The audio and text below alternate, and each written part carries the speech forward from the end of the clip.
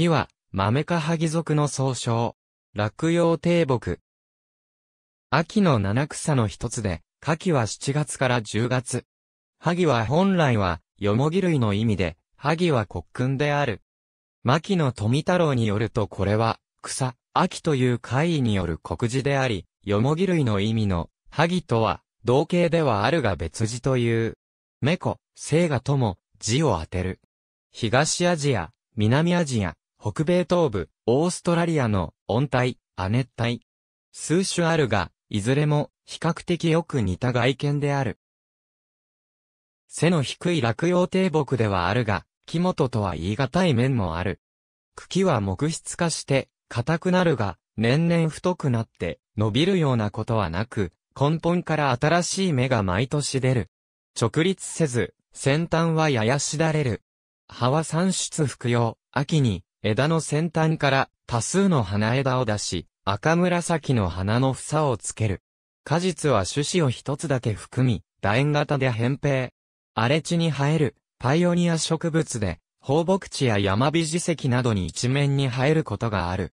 萩族は当初、マキシマ X により、現在の萩族、花萩族キャンパイラトラピズやハズソウ族カマーアに渡る範囲に定義された。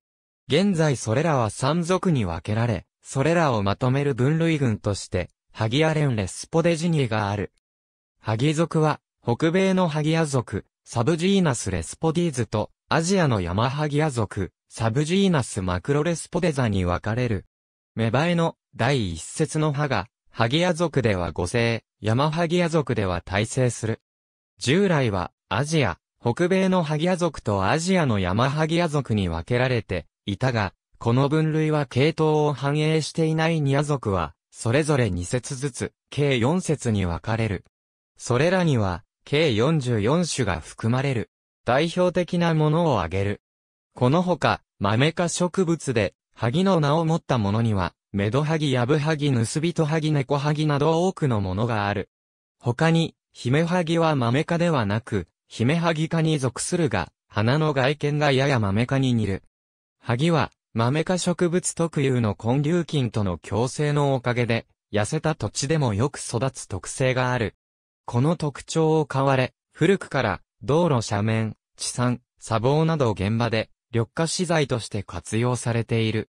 現在では、山ハギ、メドハギの種子が斜面緑化のための吹き付け資材として用いられている。日本では、戦後間もなくまでは、家畜の陶器の飼料として、萩の葉が利用された。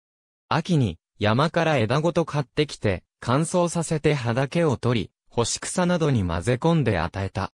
古くから日本人に親しまれ、万葉集で最もよく読まれる花でもある。秋萩とおじかのペアの歌が多い。ありがとうございます。